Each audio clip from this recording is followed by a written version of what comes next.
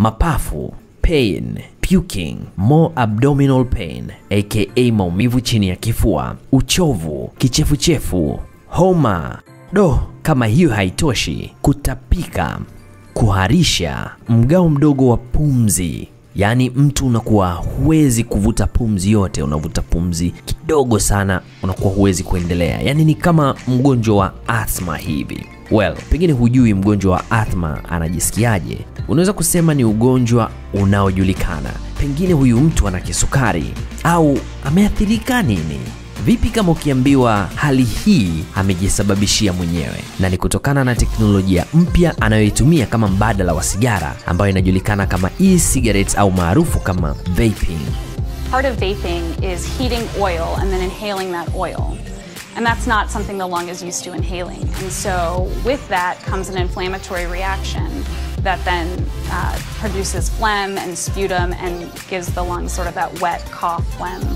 Je, yeah, hii ni mara ya kwanza unasikia kuhusu vaping au matumizi ya sigara za kielektroniki? Basi karibu Watu People Baseline ili tuweze kufungua milango pamoja. Kwa mujibu wa Center for Disease Control nchini Marekani, zaidi ya watu elfu moja wameshakumbwa na ugonjwa mbaya sana ambao unasababishwa na uvutaji wa sigara za kielektroniki au maarufu kama vaping. Kabla ya kumega zaidi chuzi la mchapo huo, ni kusafirishe nyuma kidogo ya wakati mpaka mwaka 2003 ambapo kwa mara ya kwanza sigara ya kielektroniki iligunduliwa na pharmacist na raia wa China jijini Beijing anayeitwa Hon Lik. Huyu ndio alikuwa mtu wa kwanza kutengeneza na kuanza kuuza vape mwaka 2004 na teknolojia hiyo baadaye kidogo ikaendelea na kuenea katika maeneo mengi duniani. Ukisafiri zaidi nyuma ya histori, utasanduliwa kuwa mtu wa kwanza kabisa kugundua sigara ambayo haitumii uchomaji wa tobako alikuwa ni raia wa Kimarekani Herbert Gilbert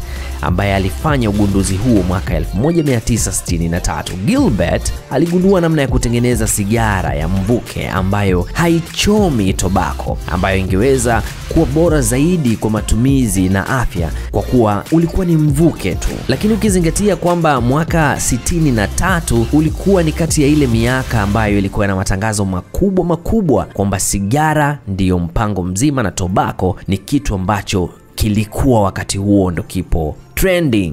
Uvumbuzi wa Gilbert ulikuwa unatishia biashara kubwa ya makampuni ambayo yalikuwa yanauza sigara, pamoja na baadhi ya makampuni hayo kukubali kwamba yangependa kutengeneza sigara ya Gilbert. Uvumbuzi wa Gilbert uliishia kusajiliwa na kulindwa tu, lakini sigara hizo hazikuweza kutengenezwa kwa sababu Gilbert hakuwa na pesa ya kuweza kutengeneza sigara hizo peke yake, na makampuni ambayo yalikubali kufanya naye kazi hayakufanya kazi hiyo kwa wakati, mpaka ambapo patent ya Gilbert ilipokwisha muda wake na makampuni hayo yakaenda kusajili upya aina yao ya sigara hizo au uvumbuzi huo wa Gilbert na kukaushia bila kutengeneza sigara hizo mpaka ambapo mwaka 2003 alipogundua Hornlink, aina nyingine ya sigara ya kielektroniki ambayo inatumika hivi sasa. Hii kama anavyosema Gilbert mwenyewe ni kwamba anasema uvumbuzi wake ulikuwa mbele sana ya wakati na ndiyo maana haukuweza kufikia watu enzi hizo za ukoloni. Fast forward mpaka mwaka 2003 baada ya Hornlink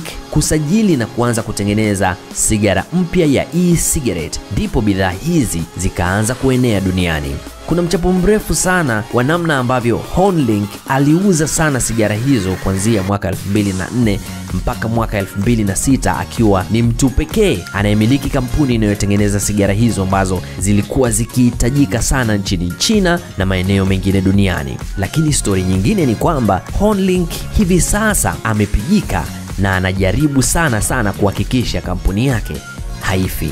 Lakini wakati huo huo makampuni makubwa kama vile Juul ya Marekani ambayo yaliuchukua uvumbuzi wa Hornlink na kutengeneza sigara hizo bila ya idhini ya Hornlink, ambaye hivi sasa ana kesi kibao mahakamani ambazo ameshitaki makampuni hayo kwa kumuibia idea yake. Kwa miaka zaidi ya 16 sasa, ulimwengu umekuwa na hope kubwa sana kwamba kansa ya mapafu inayotokana na tobako ile ambayo inaunguzwa au sigara zile za kawaida au uraibu wa nicotine unaweza kuwa umepatiwa ufumbuzi. Lakini jibu zuri zaidi la stori hii lipo kwenye hadithi ya mrembo Sima Heman ambaye nusra akate moto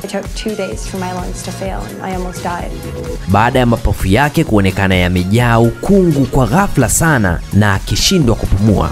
Je, yeah, tumekuja kuangukia kwenye jalada jipya kabisa la damu ambalo hatari yake inaweza kuwa kubwa zaidi ya sigara za kawaida? Kuna maelfu ya wagonjwa na pengine vifo kibao ambavyo tayari vimetokana na matumizi ya sigara hizi za kielektroniki na hii ni kwa mujibu wa CDC, Center for Disease Control ya Marekani, ni kwamba kuna maelfu ya wagonjwa ambao wameripotiwa kuumwa ugonjwa huu wa mapafu ambao unaaminika umetokana na matumizi ya sigara hizi za kielektroniki. So kikubwa watu wanachoshirikia sigara za kielektroniki ni kwamba zimetangazwa kuwa hazina madhara ambayo yanapatikana kwenye sigara za kawaida kwa sababu hazichomi tobako na pia zinatangazwa kwamba zinasaidia watu kuacha uraibu wa sigara. Basi hali hii inazidi kuleta tafrani na watu wengi sana wanaingia katika matumizi ya sigara hizi. Vijana kibao hivi sasa wanatumia vape hasa Marekani ambapo ndio kunaaminika kuna soko kubwa zaidi la watumiaji wa sigara hizo. Lakini hii stori sio ndogo kiasi tu cha kusema kwamba vaping ni kitu kibaya zaidi ya sigara za kawaida, kwa sababu mpaka sasa inaonekana watu ambao tayari wametajwa kuathirika na vaping, haijathibitika exactly ni kwa namna gani sigara hizo zinawapa athari watu hawa. Lakini pia mtaani kuna maneno mengi kwamba wale ambao wamekutwa na madhara baada ya kutumia vaping ni wale wanaovuta au kutumia fake